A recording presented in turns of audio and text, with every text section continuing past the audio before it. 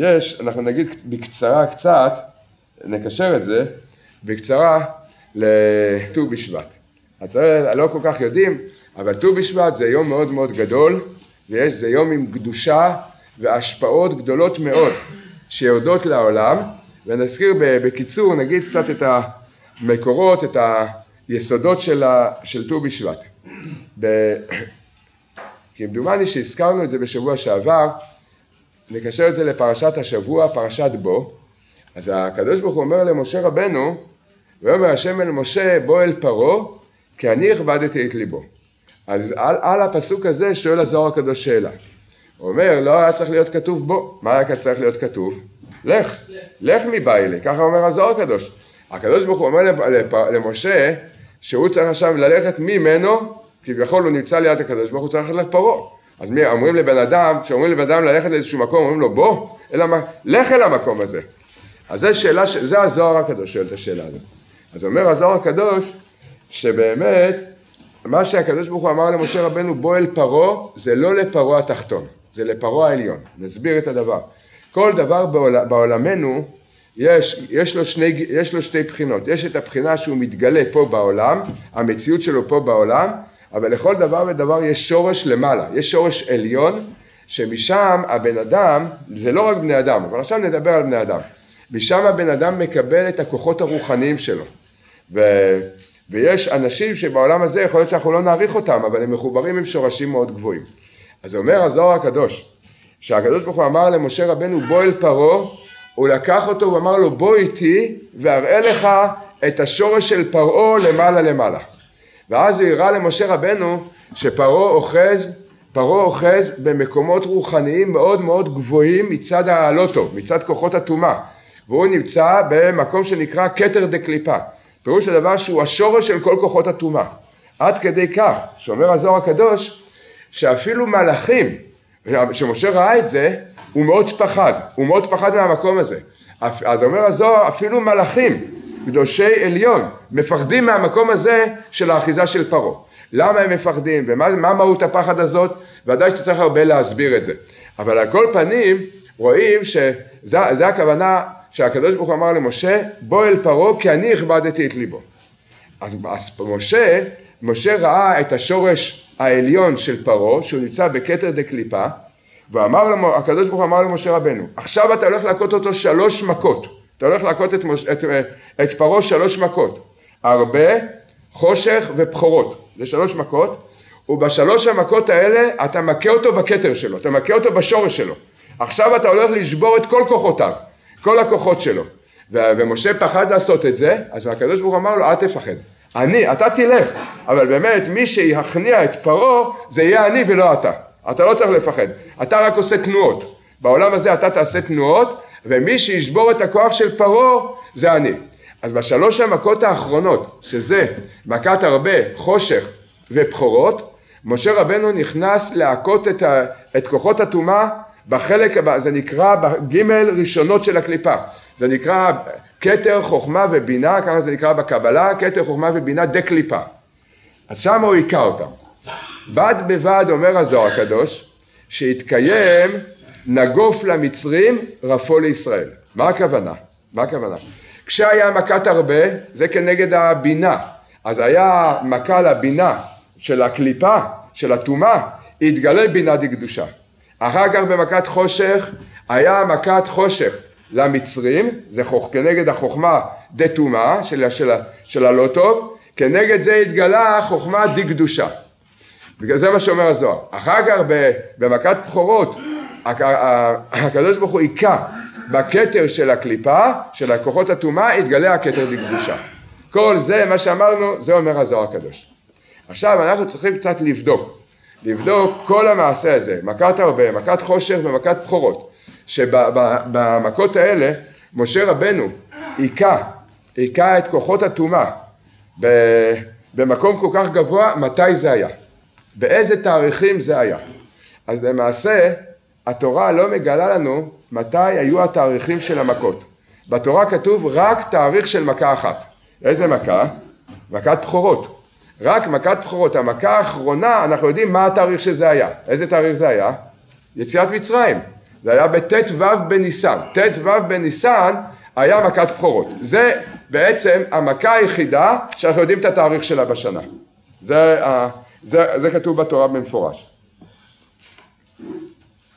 שואלים חז"ל, שואלים חז"ל שהקדוש, שמשה היכה בעשר מכות, כמה זמן היה בין מכה למכה? כמה זמן היה בין מכה למכה? וכמה זמן נמשכו כל העשר מכות? זו שאלה ששואלים חז"ל בכמה מקומות. באמת, לפי האמת, חז"ל עונים כמה תשובות על הדבר הזה. זאת אומרת, היה ספק, לחז"ל היה ספק איך היה בדיוק הסדר של המכות. הדעה שמופיעה הכי הרבה פעמים בחז"ל, וזו הדעה המקובלת, המקובלת היא שבין מכה למכה היה חודש ימים. פירוש הדבר כך, שהמכה נמשכה שבוע ימים, נניח נתחיל עם מכת דם, הדם היה שבוע ימים, היה שלוש שבועות הפסקה. אחר כך צפרדע, שבוע ימים, שלוש שבועות הפסקה. וכן הלאה כל מכה ומכה, הסדר היה כך של שבוע, שבוע מכה, שלושה שבועות הפסקה.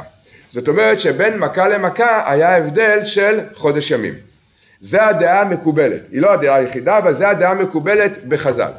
לפי זה, עכשיו לפי זה אנחנו יכולים לדעת את התאריכים של כל המכות. מדוע? כי המכה האחרונה שזה בכורות אנחנו יודעים, זה ט"ו בניסן, בט"ו בניסן. מה היה, איזה מכה הייתה לפני בכורות, לפני מכת בכורות? לפני בכורות היה מכת חושך, וזה כמה זמן זה היה לפני זה? חודש, חודש ימים, חודש ימים. לא 28 יום, לפי הדעה הזאת. צריך ליישב את זה ולסדר את זה בדיוק. זה יום לכאן ויום לכאן. אז זה 30 יום, 29 או 30 יום בין מכה למכה. אז, ה... אז אם, אם מכת בכורות הייתה בט"ו בניסן, אנחנו צריכים ללכת 30 יום אחורנית, להגיע למכת חושך. אז כמה זה יוצא 30 יום אחורנית? מט"ו בניסן 30 יום אחורנית, מה, מה זה יוצא? ט"ו באדר. יוצא ט"ו באדר. מה זה ט"ו באדר? מה אנחנו יודעים על ט"ו באדר? שושן פורים. שושן פורים, נכון? במכת חושך, מה כתוב? מה כתוב? ולכל בני ישראל אור בכל מושבותם. איזה אור זה היה? איזה אור התגלה להם במכת חושך? האור של פורים. כבר במכת חושך התגלה לעם ישראל האור של פורים. פעם ראשונה שהיה פורים בעולם זה היה במכת חושך. לא יודעים את זה. זה לא כתוב בתורה שהיה חג פורים באותו שנה, עשו משלוח מנות, ומתנות לאביונים, עשו סעודת פורים במכת חושך, אז זה היה מכת חושך, בזמן מכת חושך הייתה כבר התגלות האור, זה היה, זה, הכוונה זה אור רוחני, שאותו אור רוחני נתגלה בזמן הנס של פורים. ואחרי כתוב, בפורים כתוב, ולבני ישראל הייתה אורה ושמחה, ששון ויקר. אורה ושמחה זה האור של מכת, שהתגלה במכת חושך. אז בט"ו באדר היה מכת חושך. עכשיו אנחנו, לפני מכת חושך היה מכת הרבה, מכת הרבה זה היה שלושים יום לפני זה, מתי זה יוצא? ט"ו בשבט. זאת אומרת שבט"ו בשבט היה מכת הרבה. התורה אומרת לנו שבזמן מכת הרבה, מה עשה הרבה למצרים? את מה הוא היכה להם? את כל הצומח. מה זה היום הזה? ט"ו בשבט חג ראש השנה לאילנות. כל הברכה של האילנות והצומח זה בט"ו בשבט. אתם קלקלתם את הבריאה ביום הזה, ביום של ט"ו בשבט קיבלתם את המכה של ההרבה. אז יוצא כך, זה יוצא כך, שבט"ו בשבט מכת הרבה, בט"ו באדר זה שושן פורים, זה מכת חושך, וט"ו בניסן שזה חג הפסח זה מכת בכורות. אז עכשיו אנחנו משבת זאת, אנחנו מתחילים להיכנס למהלך של השלוש, של השלוש ראשונות, של השלוש ראשונות. אז צריך לדעת, כתוב בספרים הקדושים שבאמת כל שנה בט"ו בשבט מתחיל להתגלות האור, זה נקרא אור של. הנשמה חיה ויחידה. זאת אומרת אורות רוחניים מאוד גדולים מתחילים להתגלות מט"ו בשבט, כמו שהיה במצרים, במכת הרבה, התחיל להתגלות האור של ה... זה נקרא ג' ראשונות דקדושה, זה למעשה האור שיהיה לעתיד לבוא, יתגלה במכת הרבה חושך ובכורות, שזה בשלושה תאריכים האלה, אז, כתוב בספרים הקדושים שכל שנה ושנה בט"ו בשבט מתחיל להתגלות האור של הגימל הראשונות. וכל שנה זה שפע חדש, השפעה חדשה לגמרי. ואדרבה עכשיו זה יוצא גם בשבת, זה עוד יותר, זה עוד תוספת, זה עוד תוספת של קדושה. אז ב, בימים האלה מט"ו בשבט עד פסח צריך לדעת שזה ימים מאוד מאוד מסוגלים, מאוד מסוגלים, זה, ימי, זה עת רצון מאוד גדולה, זה נמשך ממקום מאוד מאוד גבוה בתקופה הזאת זה דבר שצריך לתפוס את התפילות, את הליקוטי תפילות, תהילים, התבודדות, כל אחד מה שהוא יכול, קברות צדיקים, מה שאדם, כל אחד במקום שבו הוא נמצא, ויזעקו אל השם בצר להם, וישמע השם ויושיעם. הימים האלה זה ימים מאוד גדולים, זה שפע מאוד גדול, בפרט בשלושה ימים האלה, ט"ו בשבט, שושן פורים ופסח, זה עת רצון מאוד גדולה, השלושה ימים האלה, ואחר כך זה מאיר לכל התקופה, ואנחנו יכולים לפעול הרבה הרבה מאוד דברים על ידי הבחינה הזאת. יהיה רצון שנזכה לזה. כי הרבית טובות אליי, טובות אליי, כי הגדלת חסדך עליי, חסדך עליי, כי הרבית טובות אליי, טובות אליי, כי הגדלת חסדך עליי, חסדך עליי, תשיב לה, והכל שלה,